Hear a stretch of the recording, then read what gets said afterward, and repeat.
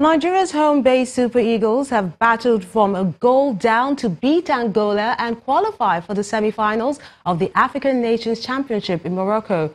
Nigeria looked on the way out of the tournament. That's until Lobi Stars forward Anthony Okpotu equalized in injury time. Gabriel Okechukwu completed a comeback for the Eagles with the winning goal. And the coach is excited about the win but has his eyes on the semis. The match is the players.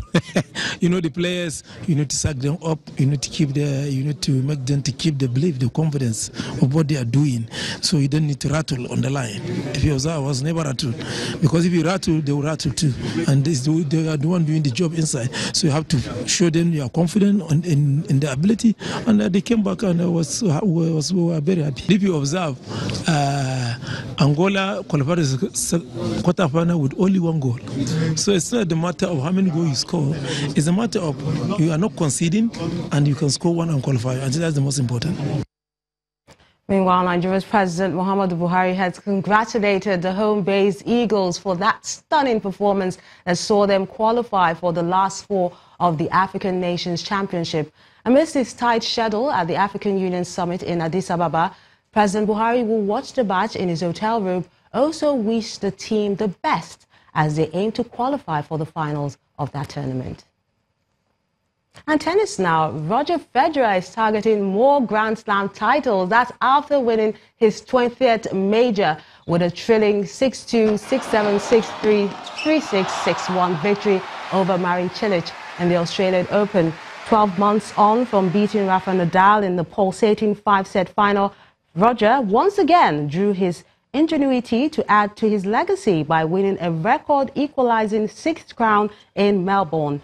At 36 years, Roger is the third man in the Open era to win four or more Grand Slam after turning 30.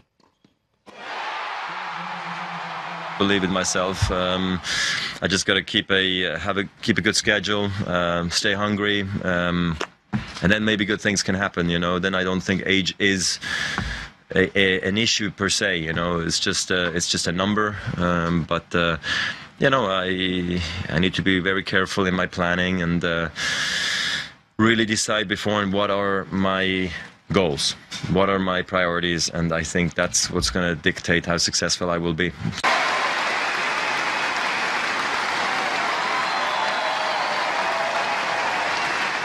In the Nigerian Professional Football League, the star match of the day between Rivers United and Enyimba International has ended goalless. Stanley Dimgba opened scoring for the People's Elephants in 45 minutes before Daniel Israel's equalizer ensured a share of the spoils in Port Harcourt River State. Elsewhere, Wikki Tourists beat FC IfeanyiUbah 1-0. Akwa United thumped Kwara United 3-0. Lobi Stars defeated Niger Tornadoes 3-1. Heartland and Yobe Stars played 1-all. Katsina beat Go Round FC 3-0, while the matches between Abia Warriors versus Sunshine Stars and El Kanemi against Kano Pillars ended goalless.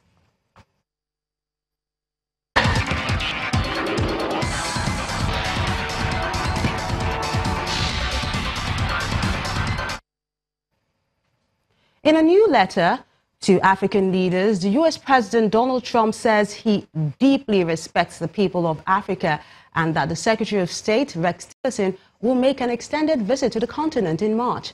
The letter, which is addressed to the African leaders, offers Mr. Trump's deepest compliments as they gather for the 30th African Union Summit in Ethiopia.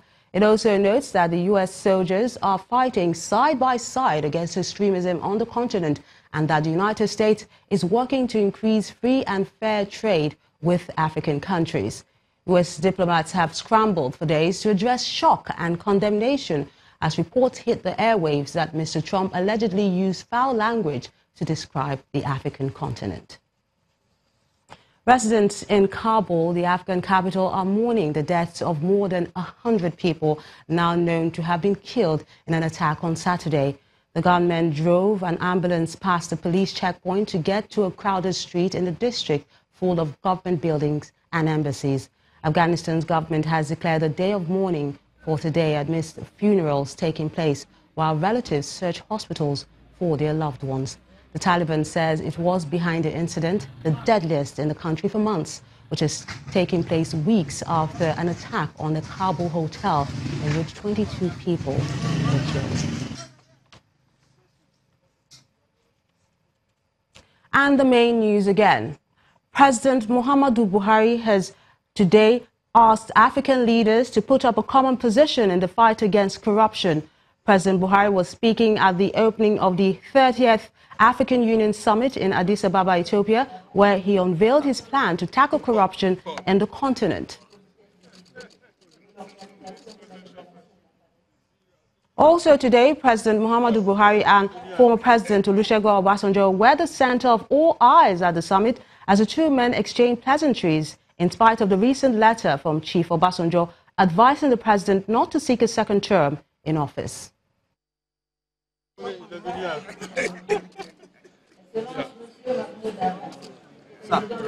Look up, look up.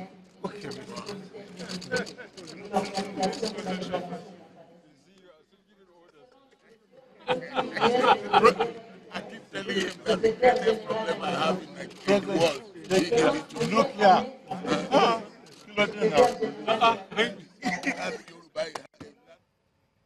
And that's the news at 10 tonight. Thank you so much for watching. I'm Melinda Akinami.